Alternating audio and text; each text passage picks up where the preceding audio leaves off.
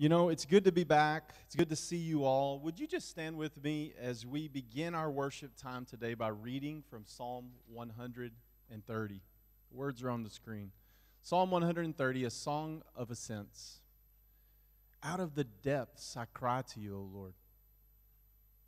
O Lord, hear my voice. Let my ears be attentive to the voice of my pleas for mercy.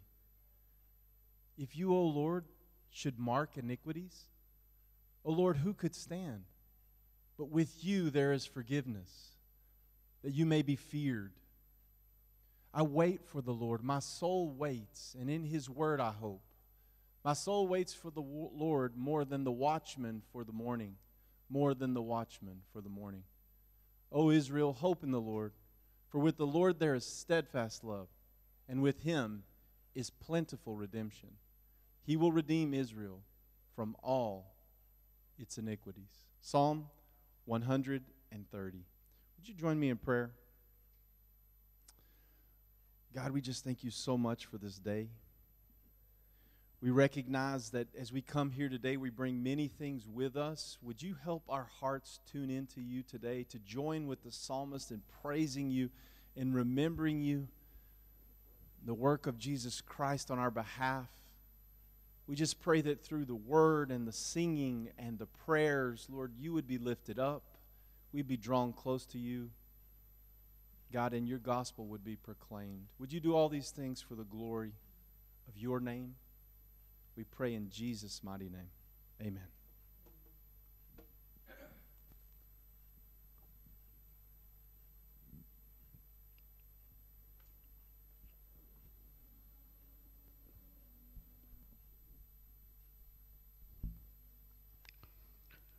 Psalm 77, verses 13 and 14 says, Your way, O God, is holy. What God is great like our God? You are the God who works wonders. You have made known your might among the peoples.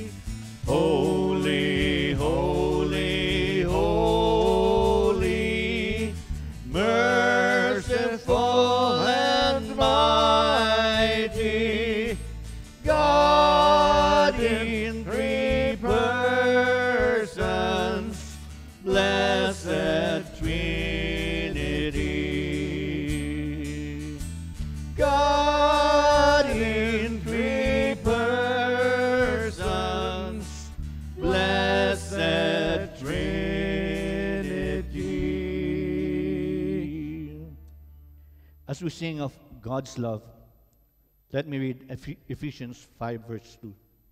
And walk in love as Christ loved us and gave himself up for us, a fragrant offering and sacrifice to God.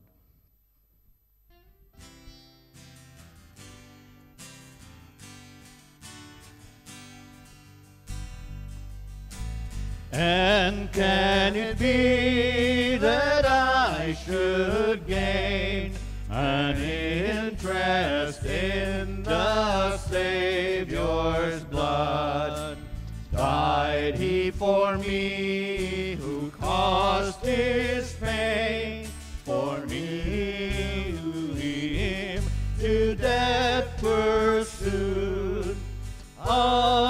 amazing love, how can it be that thou, my God, shouldst die for me?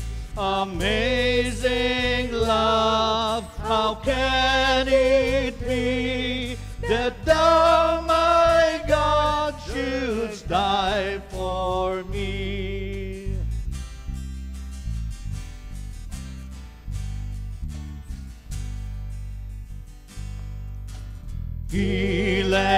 far.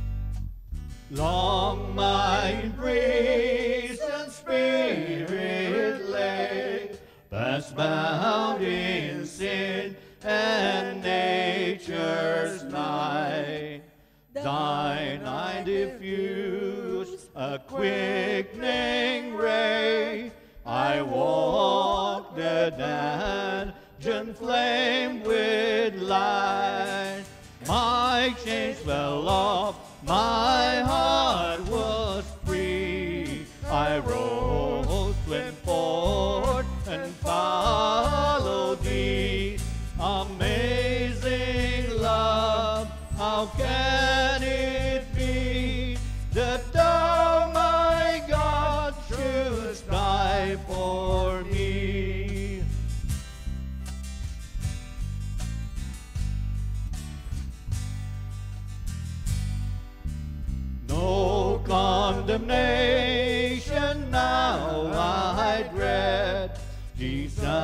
sand.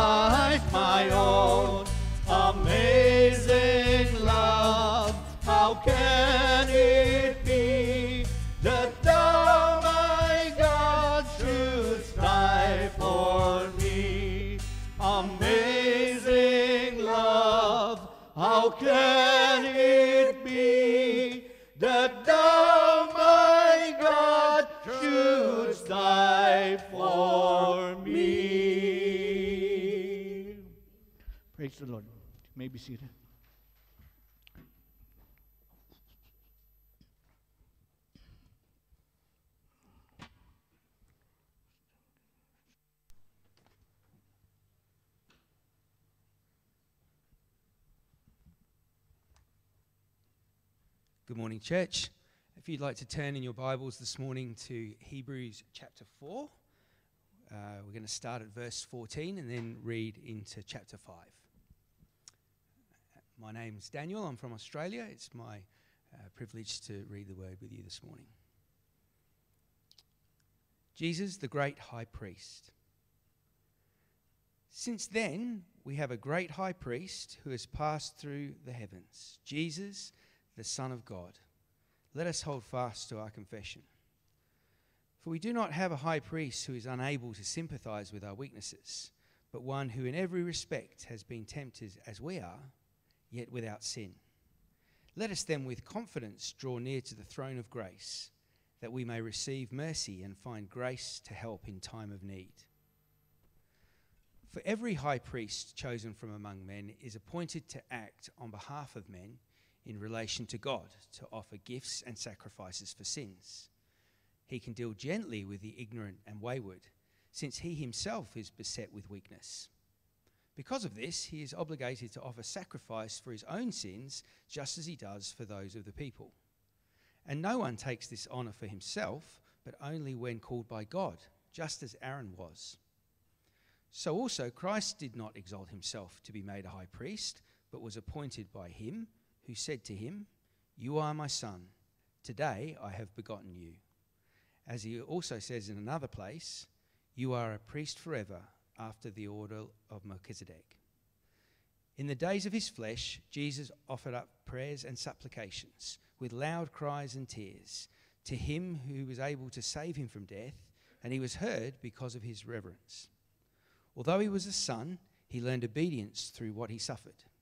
And being made perfect, he became the source of eternal salvation to all who obey him being designated by God a high priest after the order of Melchizedek.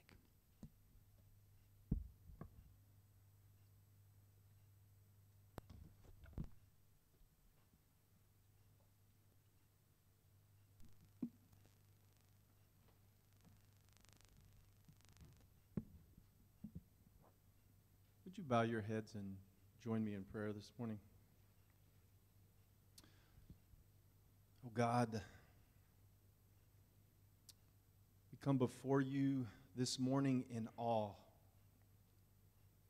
God, when we see the universe we live in, it's filled with such beauty, with stars that are uncountable, with a universe full of light and colors and gracefulness and beauty. We marvel that you are so much greater than us. Your thoughts are higher than ours. Your ways are beyond our ability to understand. You are holy, holy, holy, and the whole earth proclaims your greatness and your beauty. And we desire to worship you.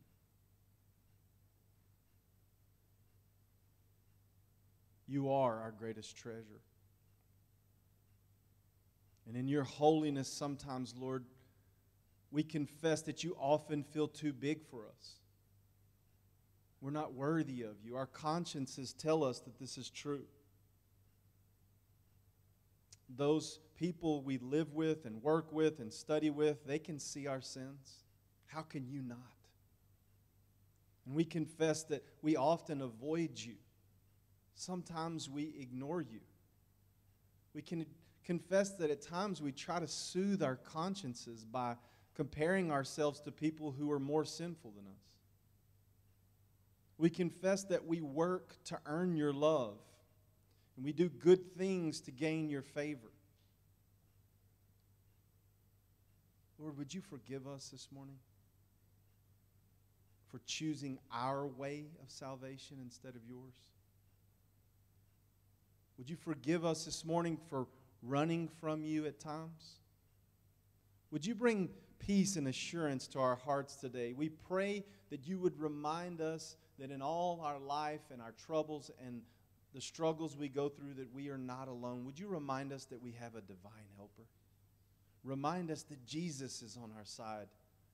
Remind us that we have a mediator like no other. Show us our spotless, sinless, perfect high priest that has passed through the heavens and now sits at your right hand this morning. Teach us to draw near to the throne of grace that we may receive mercy and grace. Give us Jesus. We intercede for our brothers and sisters in Afghanistan this morning. God, we ask that as the fire of persecution comes, that you would strengthen your people. Lord, you have said that not a hair on our head will fall to the ground apart from your will. And so we come to you this morning and we earnestly ask you would you save, heal, protect, and give courage to your people during this time? Help those that even God will be called to make the ultimate sacrifice for you. Would you give them grace? We lift up the government of the UAE to you this morning. We ask that you would guide and protect our governmental leaders.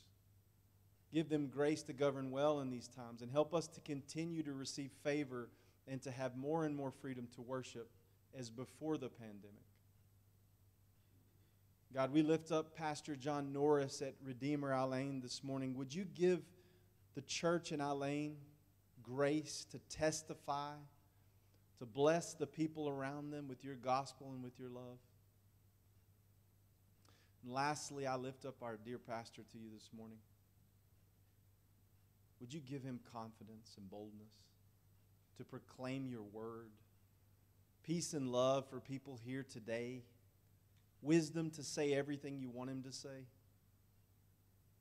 And, oh, teacher, our beloved Holy Spirit, would you come this morning through Pastor Aubrey? Teach us. We give this service and everything to you for your glory. In Jesus' name.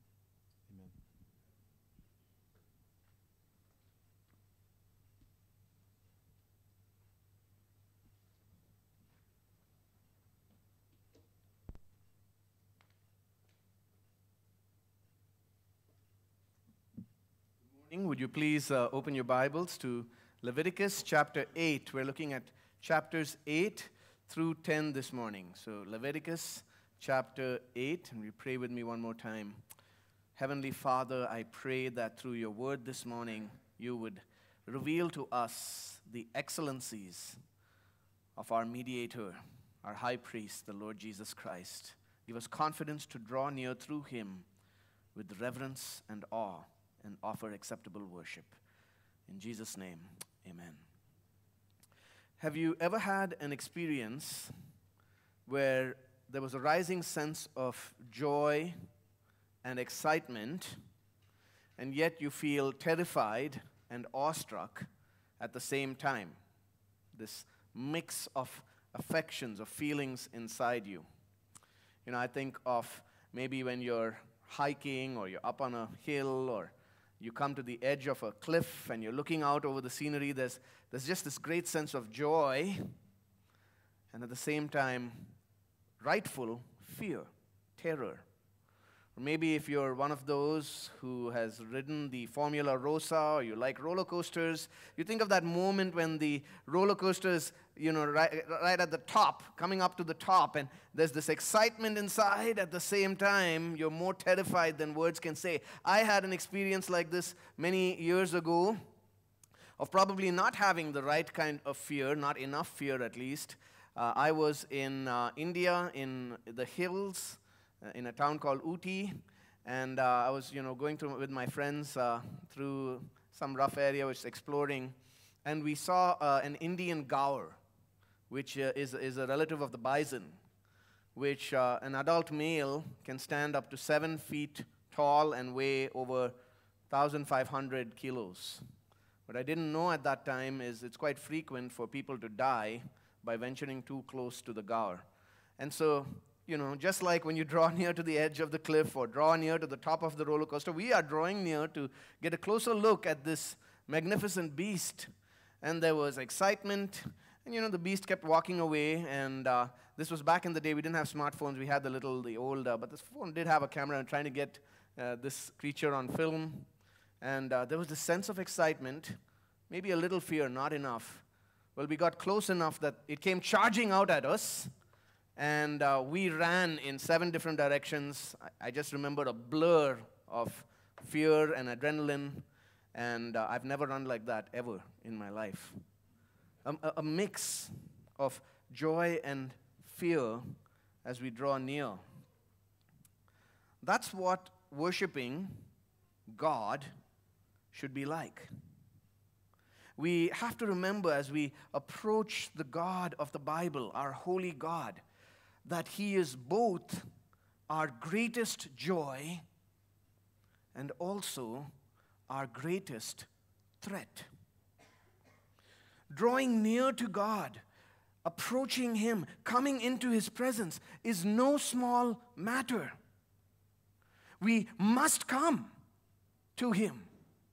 It's in His presence that we find fullness of life.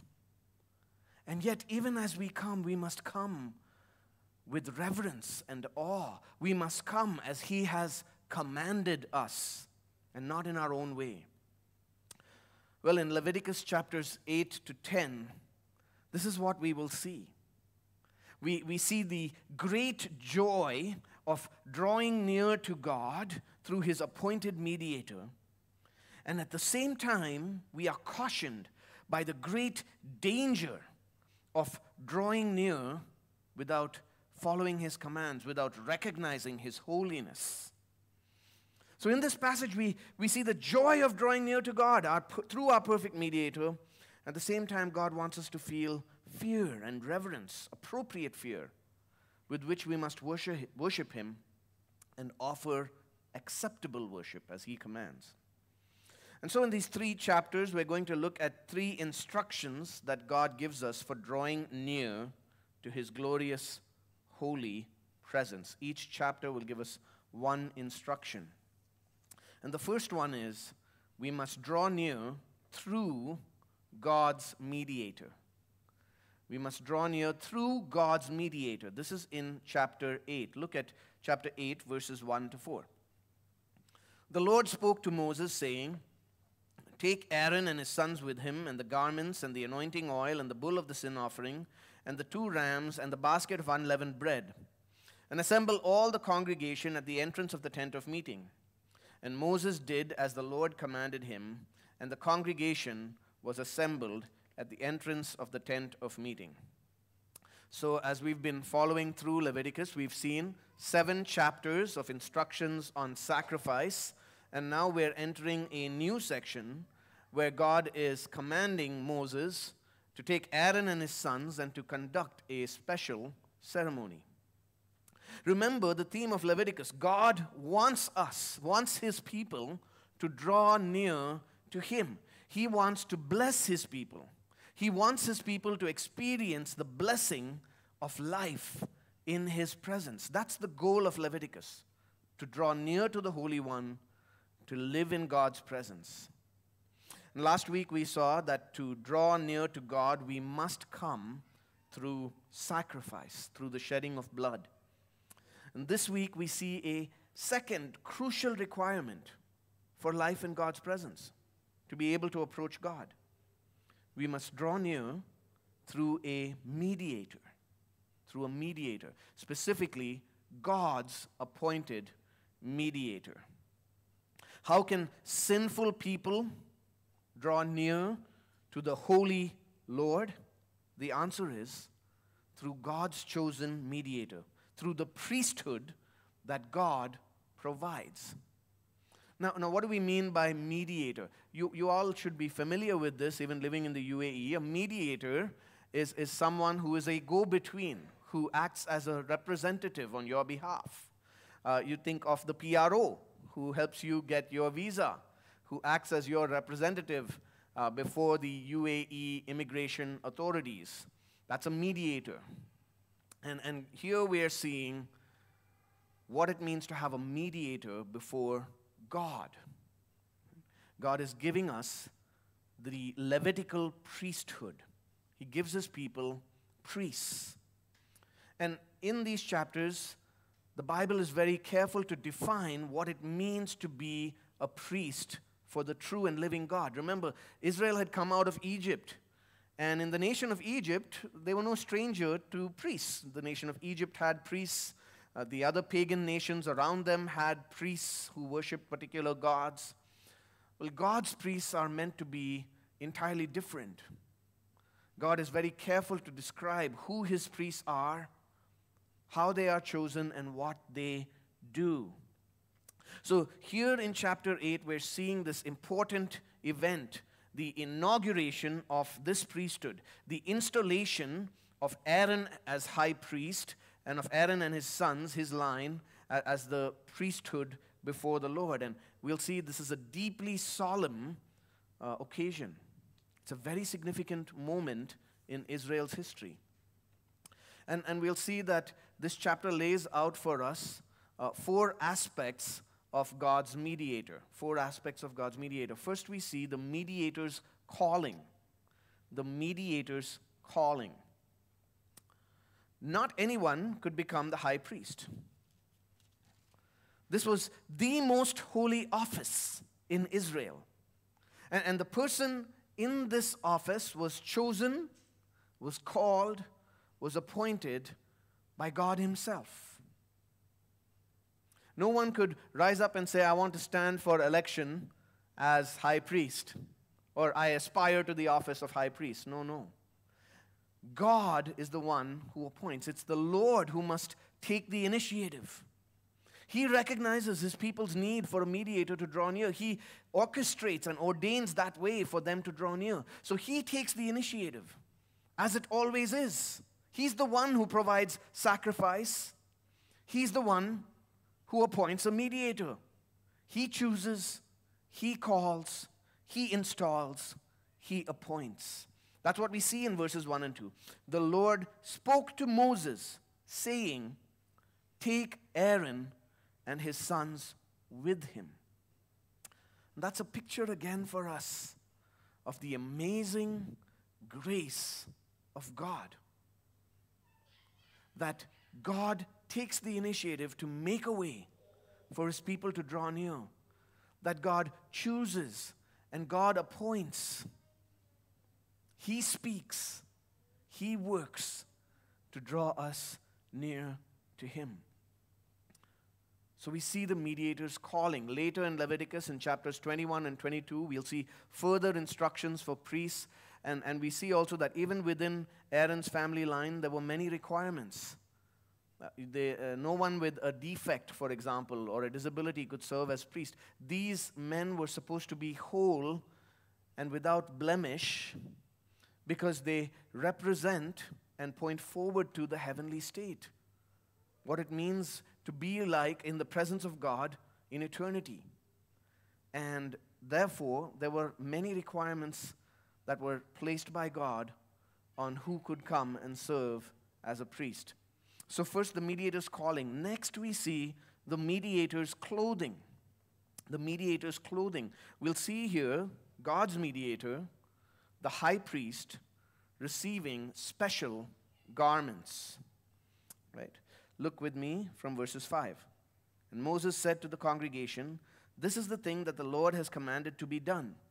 And Moses brought Aaron and his sons and washed them with water and he put the coat on him, and tied the sash around his waist, and clothed him with the robe, and put the ephod on him, and tied the skillfully woven band of the ephod around him, binding it to him with the band. And he placed the breastpiece on him, and in the breastpiece he put the Urim and the Thummim. And he set the turban on his head, and on the turban in front he set the golden plate, the holy crown, as the Lord commanded Moses. Then Moses took the anointing oil and anointed the tabernacle and all that was in it and consecrated them. And he sprinkled some of it on the altar seven times, and anointed the altar and all its utensils, and the basin and its stand to consecrate them. And he poured some of the anointing oil on Aaron's head, and anointed him to consecrate him. And Moses brought Aaron's sons, and clothed them with coats, and tied sashes around their waists, and bound caps on them, as the Lord commanded Moses. So here God is commanding Moses clothe Aaron, and Aaron and the priests have these dazzling garments placed upon them uh, with this plate uh, at the front of their foreheads, which read, the words there were written, Holy to the Lord. And there's a significance in them wearing these uniforms. I mean, we're familiar with uniforms in society. School kids, familiar, some of you, with uniforms that you have to wear to school. You know, you walk into uh, any mall here, you see someone at the door standing in uniform, security guard. What's, what's, the, what's the function of a uniform? What's the purpose of a uniform? As one person says, a uniform draws attention to the office or function of a person as opposed to his individual personality. It emphasizes his job rather than his name. And so these beautiful vestments drew attention to the supreme dignity and holiness of the high priestly office. He was the mediator between God and man. He secured atonement for the nation's sin, and his costly garments symbolized the value of his ministry to the nation. The uniform worn by the priest also had a royal quality to it. They were like kingly robes, and it demonstrated that this nation, Israel, was to represent God's kingdom on earth. They were a kingdom special to God. The emphasis is on the office, the function of these mediators, of these priests. That's why they receive these special clothes. In some ways, it's, it's a good word for church leadership and church leaders today as well, is that we ought to focus on the office, the function of the person, what they are supposed to do, rather than the individual personality. So we see the mediator's calling, the mediator's clothing. Next, we see the mediator's cleansing. The mediator's cleansing. Look with me at verse 14. Then he brought the bull of the sin offering, that's Moses bringing the bull of the sin offering, and Aaron and his sons laid their hands on the head of the bull of the sin offering, and he killed it. And Moses took the blood and with his finger put it on the horns of the altar around it, and purified the altar, and poured out the blood at the base of the altar, and consecrated it to make atonement for it. And he took all the fat that was on the entrails, and the long lobe of the liver, and the two kidneys with their fat, and Moses burned them on the altar. But the bull and its skin, and its flesh and its dung, he burned up with fire outside the camp, as the Lord commanded Moses. Then he presented the ram of the burnt offering, and Aaron and his sons laid their hands on the head of the ram, and he killed it. And Moses threw the blood against the sides of the altar. He cut the ram into pieces, and Moses burned the head and the pieces and the fat. He washed the entrails and the legs with water, and Moses burned the whole ram on the altar. It was a burnt offering with a pleasing aroma, a food offering for the Lord, as the Lord commanded Moses. And so we see the beginning of the installation of these mediators, of these priests, was to happen with sacrifice. Sacrifices being offered. And there, there is a recognition that even these priests who are holy to the Lord, who are going to represent God's people, are sinful men representing a sinful people. We, we see again the offerings, the sacrifices with which you should be familiar now, even from last week. First, the sin offering for cleansing, for purification from sin, from the pollution of sin. Then, the burnt offering to propitiate God's wrath. That's an important word from last week, if you remember. Propitiation, to turn away the wrath of God, the judgment of God. And then after that, we'll see a special offering being made. This is an ordination offering. It's a variation of the fellowship or peace offering we saw from last week. Here it is an ordination offering. Look at verse 22 and following. Then he presented the other ram, the ram of ordination. And Aaron and his sons laid their hands on the head of the ram, and he killed it. And Moses took some of its blood and put it on the lobe of Aaron's right ear, and on the thumb of his right hand, and on the big toe of his right foot. Then he presented Aaron's sons and Moses put some of the blood on the lobes of their right ears, and on the thumbs of their right hands, and on the big toes of their right feet. And Moses threw the blood against the sides of the altar. Then he took the fat and the fat tail, and all the fat that was on the entrails, and the long lobe of the liver, and the two kidneys with their fat, and the right thigh. And out of the basket of unleavened bread that was before the Lord, he took one unleavened loaf, and one loaf of bread with oil, and one wafer, and placed them on the pieces of fat and on the right thigh and he put all these in the hands of Aaron and the hands of his son and waved them as a wave offering before the Lord. Then Moses took them from their hands and burned them on the altar with the burnt offering. This was an ordination offering with a pleasing aroma, a food offering to the Lord. And Moses took the breast and waved it for a wave offering before the Lord. It was Moses' portion of the ram of ordination, as the Lord commanded Moses. So you see him slaughter here this ram, and then you see this very particular kind of peculiar ritual where he's taking blood from this sacrifice and he places it on the right ear, and then on the right thumb, and then down on the right big toe. What's going on there? Uh, he is installing, ordaining the priests. And it symbolizes purification literally from head to toe. The whole man belongs to God, must be purified from sin, must use all his organs to serve God. Why the right side? Because the right is typically the dominant side. Why the ear? Because now the priest's ears are consecrated to hear God's word, to hear God's instruction, to listen to God. Why the right hand? Because now the priest's hands belong to God. They're purified in order to serve God, to use their hands for the service of God. Why the right toe, big toe of the right foot? It's again to show that the priest's feet are consecrated, that they may be those who walk in God's ways and teach others to do the same. And why are we using blood here? Because once again we are reminded these are weak and sinful men representing sinful people. That, that reminder comes again and again. You see, every sacrificial animal and almost every type of offering covered in these two chapters, chapters 8 and 9. Uh, chapter 9, they're going to have a worship service and a ceremony with all the people. And chapter 9 again begins with sacrifices, offerings being made for the priests.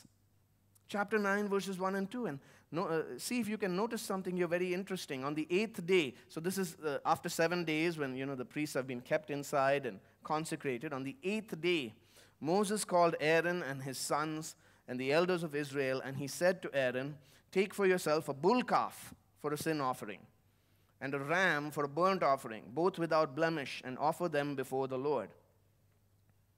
So, once again, sacrifices must be offered for the priests. Did you notice what was specified for the sacrifice, the offering to be made for Aaron himself? A bull calf. Typically, it was a bull that was offered. Why do we have a calf here? You got to think back to Aaron's history. Because in the book of Exodus, Aaron, when Moses was gone, led the people in building, in putting together a golden calf as an idol to worship. And here, that same Aaron has been called, forgiven, and appointed by God to the high priesthood, and he must offer a bull calf in atonement for his sin. And so, even in the cleansing of these mediators, we are reminded of the universality and the power of sin. Even the priests are not free from sin. Even the priests of God, these mediators, these men who will act as middlemen, as representatives between God and man, they themselves are sinful, not free from sin and its effects. So we saw the mediators calling, clothing, cleansing. Finally, we see the mediator's consecration. Mediator's consecration. Aaron and his sons are consecrated. They are devoted to the service of God now. They are set apart for God and his purposes to serve God as priests. Verses 10 to 12 of chapter 8. Then Moses took the anointing oil and anointed the tabernacle and all that was in it and consecrated them. And he sprinkled some of it on the altar seven times and anointed the altar and all its utensils and the basin and its stand to consecrate them.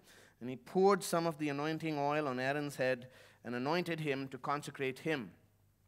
Verses 30 to 36.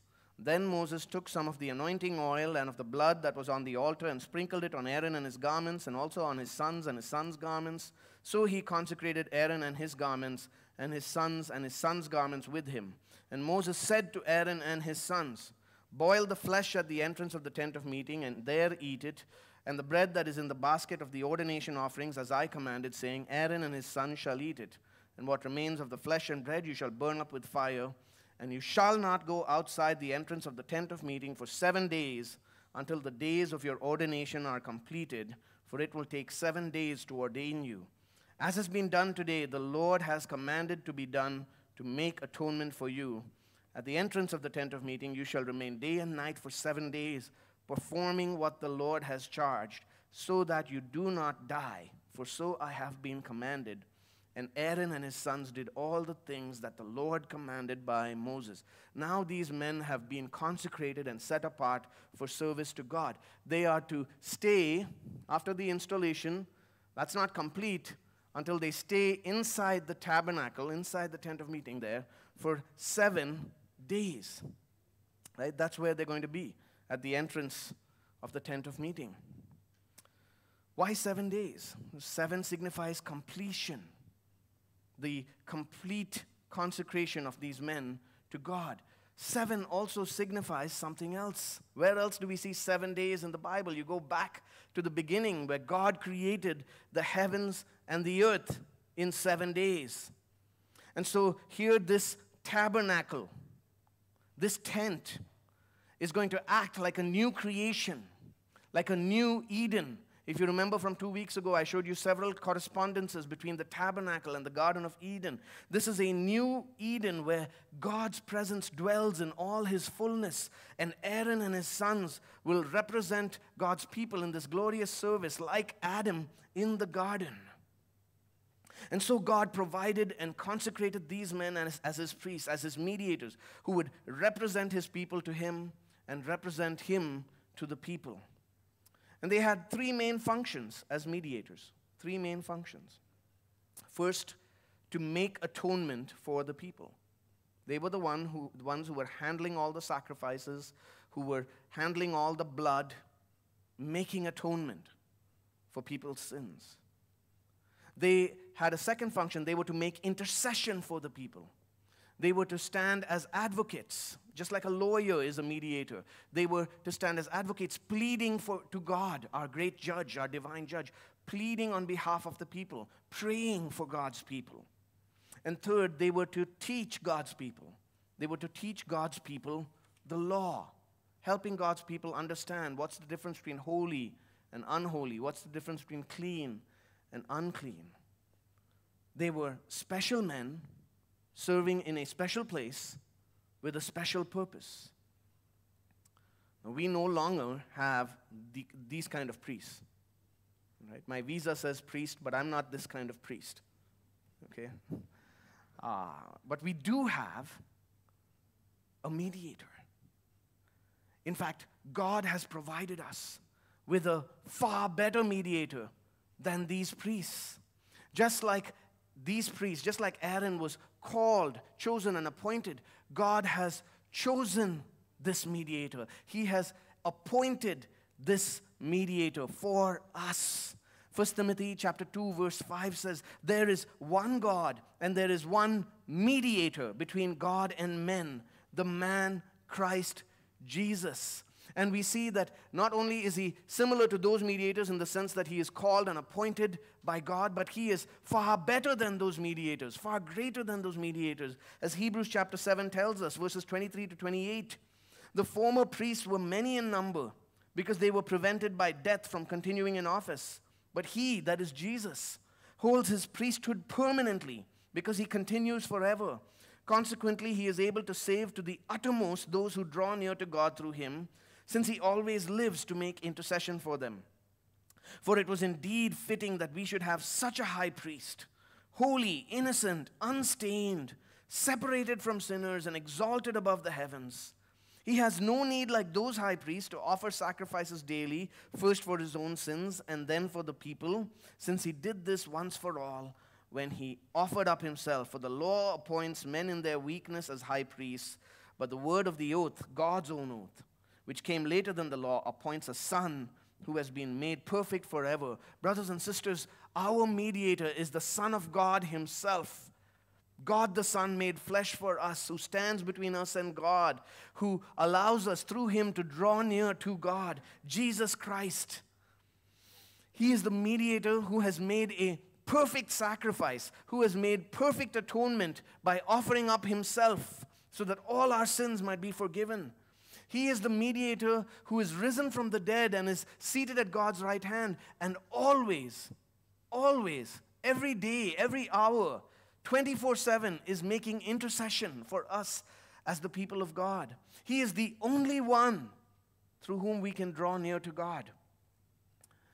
The Westminster Shorter Catechism has this question, I love it. How does Christ execute the office of a priest?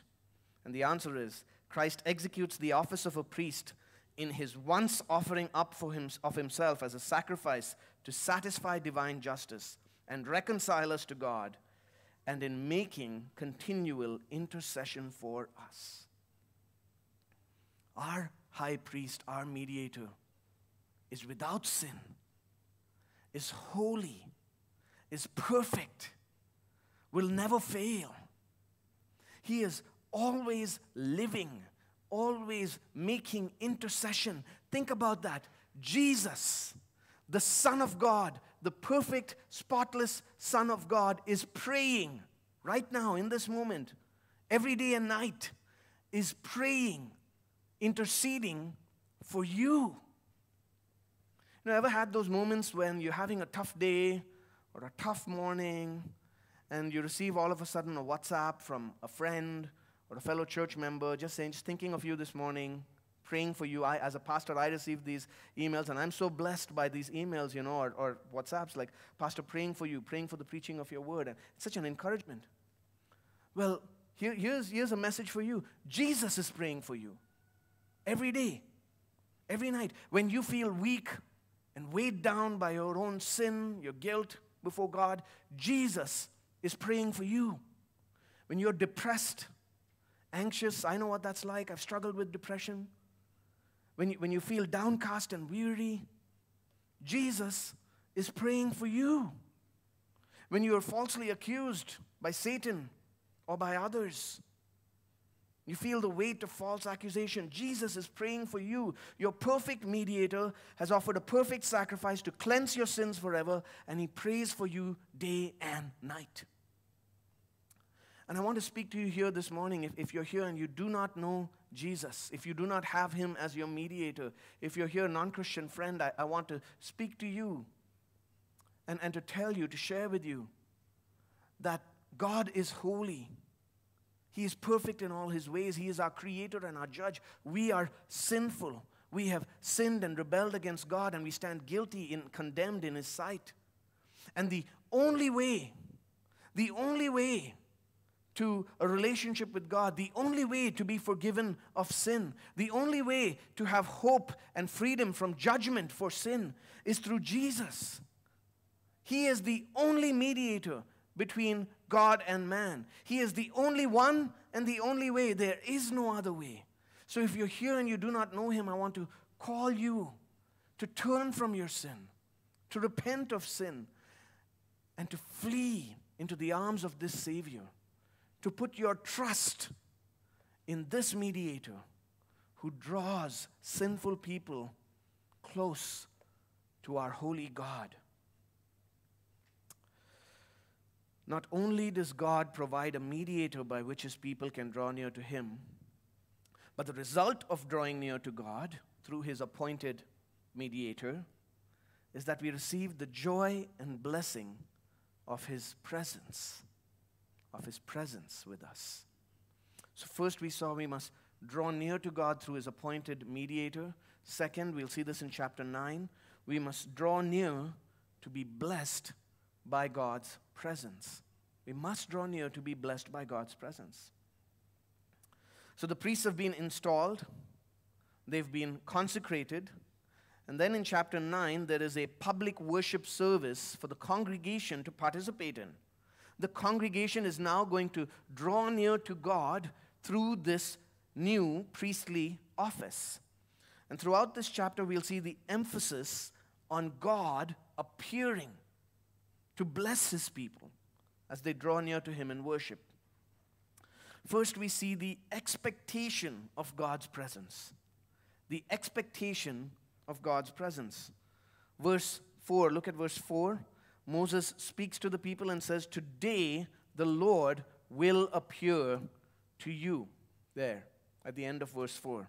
And again, again in verse 6, Moses said, This is the thing that the Lord commanded you to do, that the glory of the Lord may appear to you. There's an expectation and anticipation that God is going to appear, that God in all His glory is going to show up.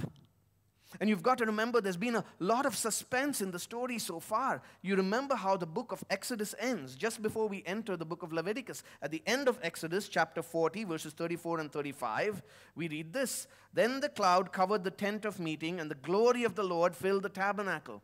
So, after several chapters of instructions on how to build this tabernacle, after several chapters of showing us how they built this tabernacle where God is going to come, the glory of the Lord comes down and fills the tent of meeting, fills the tabernacle. What an awesome spectacle!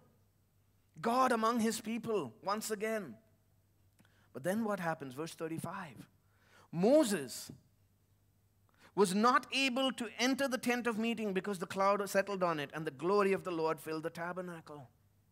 Moses himself is unable to draw near, is unable to enter into God's presence as God fills this tabernacle. It's very significant, you know, in the storyline of the Bible. Think about it. When was the last time that there was this kind of nearness between God and people? When was the last time when people could dwell in God's presence freely? It's way back in Genesis chapters 1 and 2, where Adam and Eve in the garden experienced fellowship and nearness with God in His presence as God walked in their midst, as they, they could experience unhindered fellowship and nearness to God. God comes again in power, Exodus chapter 19 to 24 at Mount Sinai, but the people are at a distance. They're kept at a great distance from God. It's frightening. They dare not draw near.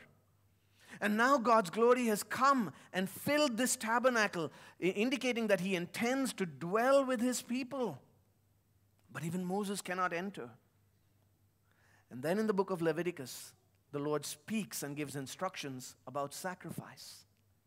The Lord speaks and installs the priesthood to act as mediators. And now the Lord promises that He is going to appear and He calls His people to draw near to Him in worship. Verses 5 and following, notice the emphasis on drawing near.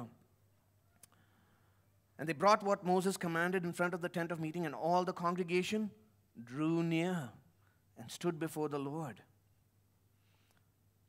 Notice verse 7 Moses said to Aaron, Draw near to the altar and offer your sin offering. Notice verse, verse 8 So Aaron drew near to the altar.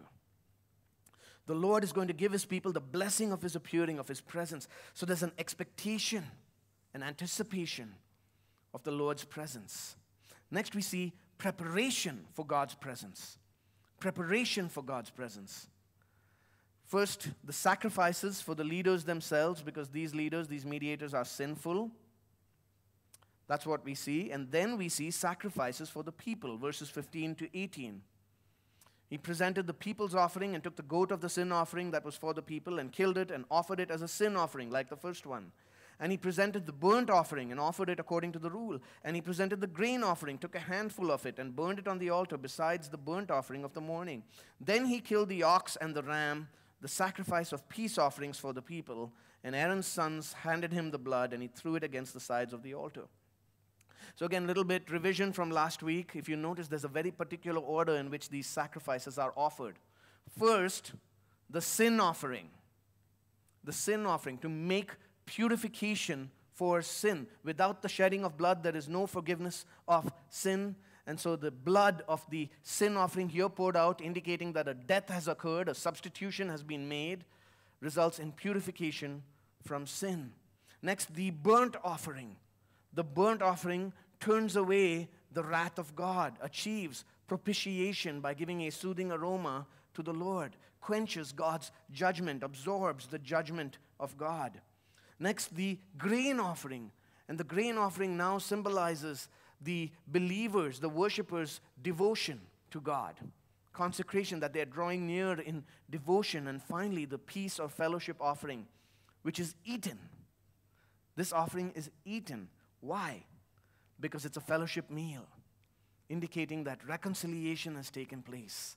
And now we have peace and fellowship with God Almighty. So there's great preparation, expectation, and then preparation for God's presence. And finally, the revelation of God's presence. We see the chapter close with the revelation of God's presence. Revelation and the people's response, verses 22 to 24. Then Aaron lifted up his hands toward the people and blessed them. And he came down from offering the sin offering and the burnt offering and the peace offerings. And Moses and Aaron went into the tent of meeting. And when they came out, they blessed the people, and the glory of the Lord appeared to all the people. And fire came out from before the Lord and consumed the burnt offering and the pieces of fat on the altar. And when all the people saw it, they shouted and fell on their faces. The Lord has arrived. He reveals himself. He comes in fire and glory. And, and notice verse 23 Exodus ended with Moses not being able to enter in, but now Moses and Aaron have access. They were able to enter into the tent of meeting, and when they come out, they bless the people. The glory of the Lord appears to his people for the first time since the Garden of Eden.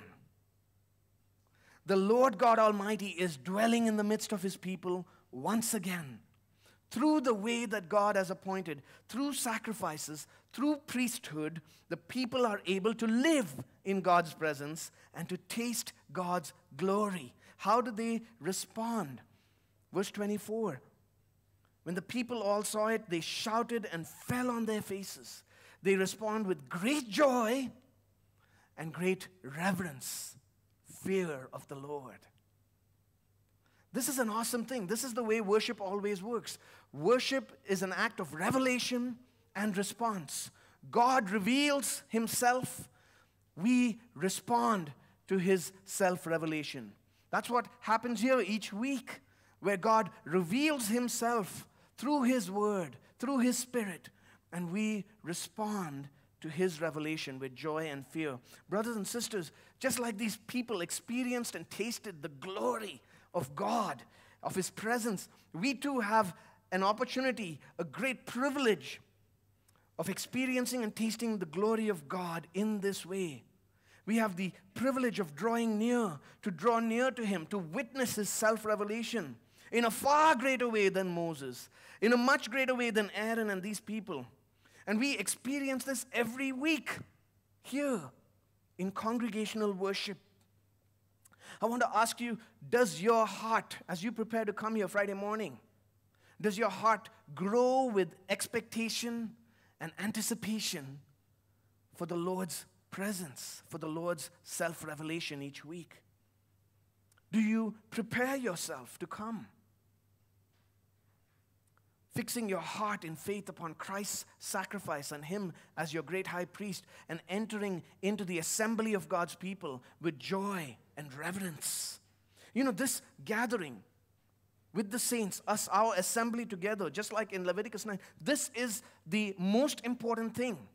This is the most important two hour slice of your day every week. It's the most important two hours of your week. Because we are meeting as God's people with our Creator, our Savior, our Redeemer. I say this in all our new members' classes. The most important two hours of your life every week is when we meet with God in congregational worship. And, and it involves drawing near, it means assembling physically. Yeah, I know this season has been subnormal. I know there are all kinds of hindrances and limitations. I know it's hard. But this is what God calls us to. He invites us to draw near. Watching online, it's just not the same thing. You don't experience the revelation of God's glory sitting at home in pajamas with coffee. It's when we're here together with the people of God as we fall on our faces before the Holy One. We come through the sacrifice of the Lord Jesus Christ, through his perfect priesthood. It's our privilege to worship the Lord with joy and fear. And it's in worshiping him together, preeminently, that we grow in the blessing of knowing him and seeing His glory. That's what worship is all about the glory of God. And the people here experienced this blessing. They experienced this glory, God's presence like never before. But suddenly, this occasion of triumph turns into tragedy. Because the God who consumes the sacrifice with fire, giving his blessing, shows that he is a consuming fire in judgment as well. You see, when we worship the Holy One, our Creator, the Lord God Almighty, when we worship Him, when we draw near to Him, we must come as He commands. And that leads to our third instruction today concerning drawing near to God. First, we draw near through God's mediator. Second, we draw near to be blessed by God's presence. And third, we must draw near according to God's commands. Chapter 10. Look at verse 1. Now Nadab and Abihu, the sons of Aaron, each took his censer and put fire in it and laid incense on it and offered unauthorized fire before the Lord, which he had not commanded them. So you've just read this great, awesome appearing of God's glory at the end of chapter 9. And then chapter 10, it looks routine. Each of the verbs in the first part of the sentence is totally normal and expected for priests. Each of them took his censer, put fire in it, laid incense on it, and offered. Everything seems normal up to that point. But then there's a surprise. They offered unauthorized fire, an offering which the Lord had not commanded. And that's a striking contrast to what we've seen in the previous chapters, where everything was done according to God's commands. Notice the end of chapter 8, verse 36 And Aaron and his sons did all the things that the Lord commanded by Moses. Or look at chapter 9, verse 6 and 7. Moses said, This is the thing that the Lord commanded you to do. At the end of verse 7, Right? They bring the offering of the people and make atonement for them as the Lord has commanded. That phrase is like a drumbeat throughout chapters 8 and 9. As the Lord commanded. As the Lord commanded. And here suddenly we are surprised when Nadab and Abihu try to worship God in a way that he has not commanded. How does the Lord respond? Verse 2 And fire came out from before the Lord and consumed them, and they died before the Lord. Then Moses said to Aaron, This is what the Lord has said Among those who are near me, I will be sanctified, and before all the people, I will be glorified. And Aaron held his peace. The God who came in fire to consume the sacrifices which he had commanded now comes in fire and consumes those who dare to offer what he has not commanded. And you know, you can think of Nadab and Abihu. These guys were probably enthusiastic. They were probably very zealous, seeking to worship. We have no sign that their intentions were bad. They're seeking to worship. But they do what God has not commanded them to do. They dare to draw near to the Holy One in a way that they've invented in their own imagination. And the result is their immediate death. Does that bother you? Does that trouble you, maybe? Dear friend, if you're troubled by that, if you're asking the question, how can God act that way? The only reason can be is that in your mind, the holiness and majesty of God is not sufficiently large, it's been diminished. This is a common problem in evangelical Christianity. We've lost our sense of the holiness, the grandeur, the greatness, the majesty of God Almighty. We have reduced God. We suffer from what one theologian calls the weightlessness of God in our minds and in our hearts. And this affects how we worship. You see, friends, there are two kinds of idolatry in the Bible. The first kind of idolatry is when you worship the wrong God. The second kind of idolatry is just as dangerous, and it is when you seek to worship the right God, but in the wrong way, in a way invented by our own minds, in a way that we've imagined. I love how this classic Protestant confession describes worship. Listen to this the acceptable way of worshiping the true God the acceptable way of worshiping the true God is instituted by Himself. and so limited by his own revealed will that he may not be worshipped according to the imaginations and devices of men or the suggestions of Satan under any visible representation or under any other way not prescribed in the Holy Scripture. We don't have freedom in corporate congregational worship to do whatever we want. God does not permit us to come and invent our own ways of worshiping Him with any kind of a show. Aaron's sons sought to worship according to their own imagination, their own devices, and they faced judgment. This is applicable to us today as God's people. We must not, we cannot, we dare not draw near to God to worship Him in a way that He has not explicitly prescribed in Scripture. You know, the great theologian Charles Spurgeon, the, the pastor, said once, at one time, he said, There is coming a day when instead of shepherds who feed the sheep, there will be clowns who entertain the goats. We see this problem all throughout evangelical Christianity today, where worship has been reduced to entertainment, to making us feel nice, be entertained. This is why, by the way, at ECC we aim to keep our worship, worship services simply biblical. Simply biblical. Seeking to worship as God has commanded in the New Testament.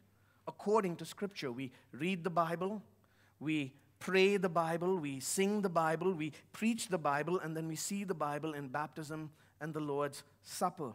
Ordinary, simple means of grace that God has appointed to powerfully reveal his presence and glory in Christ. So the day of great joy and triumph also turns into a day of great terror and tragedy. And we see that under the old covenant, even with the joy of God's presence, there was distance. We see that even the mediators that God appointed were flawed. They were flawed and sinful. The priests are the first deaths recorded after God comes in glory to his people. And here again, the book of Leviticus is teaching us, reminding us, showing us that we need a better mediator. We need a better priest who would offer a better sacrifice, who would keep God's commands, and who would truly draw us near to God. And God has provided us this mediator in our Lord Jesus Christ, the mediator who is God's own Son, who has no sin, who offers a perfect sacrifice, not the blood of bulls and goats, but his own body and blood to make us perfect. And through our perfect mediator, we can draw near to experience joy and fear and respond with reverence to God's revelation. If you had any thought that somehow in the New Testament worship becomes lighter or more casual, listen to these beautiful words from Hebrews 12, with which we'll close. But you have come to Mount Zion and to the city of the living God, the heavenly Jerusalem, and to innumerable angels in festal gathering, and to the assembly of the firstborn who are enrolled in heaven, and to God, the judge of all and to the spirits of the righteous made perfect, and to Jesus, the mediator of a new covenant, and to the sprinkled blood that speaks a better word than the blood of Abel. Verse 28 and 29. Therefore, let us offer to God acceptable worship with reverence and awe, for our God is a consuming fire. Heavenly Father, I pray that we would respond with reverence and awe at your self revelation thank you for our mediator, Jesus. In his name, amen.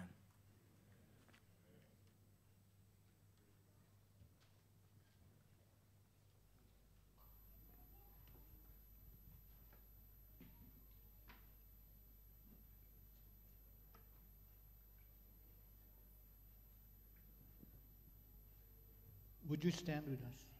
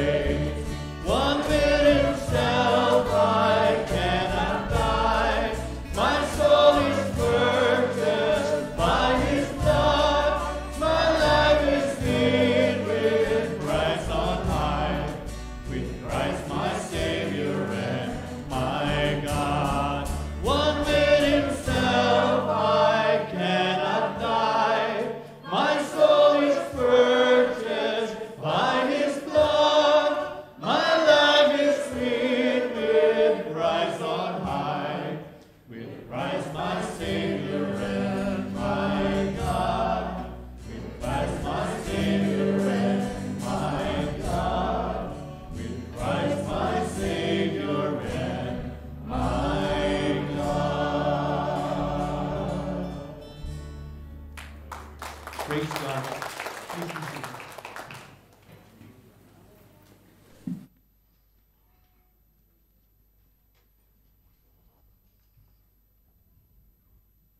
Just a few announcements before we leave uh, this morning.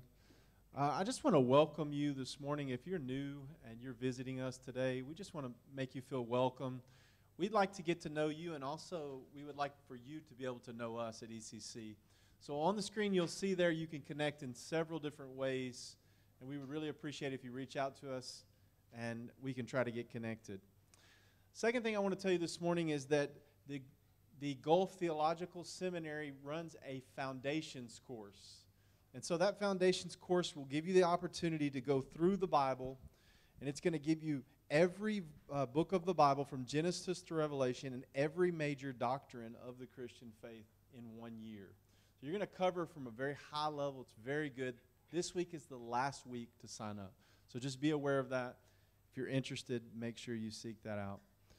Also, just want to remind you uh, members, particularly, to please look for an important announcement coming about the new associate pastor candidate. Okay, so look for that coming soon. And one more thing. Several people from ECC after uh, around lunchtime are meeting in Al Wahda Mall to eat lunch. So if you'd like to join anybody, that's an invitation out there to anyone that would like to come. So closing today with the benediction and just thinking about Jesus as our high priest. Would you stand with me and we receive this benediction today? This comes from the book of Numbers, chapter 6 and verse 24. But I want you to hear this was the blessing of the priest. This morning, as we go, I just want you to think that Jesus Christ is praying this over you this morning. May the Lord bless you and keep you. May the Lord make his face shine upon you and be gracious to you. the Lord lift up his countenance upon you and give you peace. Amen.